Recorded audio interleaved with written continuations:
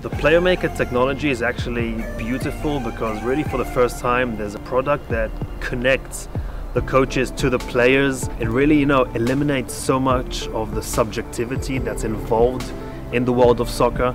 And a really cool aspect of it, you know, it's not on your body, you don't feel it, it's not restrictive at all. It's just on your cleat, it's there, it's out the way, you don't even think about it. You know, you wear it for 20 seconds and it's not there anymore in your mind. And it creates this level of competitiveness as well within soccer teams. If I had it as a 13 year old, 15 year old, 20 year old, if I had Playermaker technology with me, I'd be fired up to play, to not make mistakes, to work harder. I would want to have less lost balls than my friends on the team. I'd want to have the best pass completion percentage.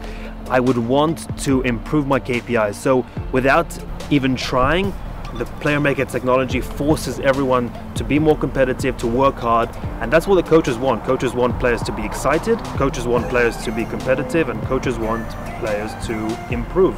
And I think it brings coaches together with the players and it helps everyone improve together.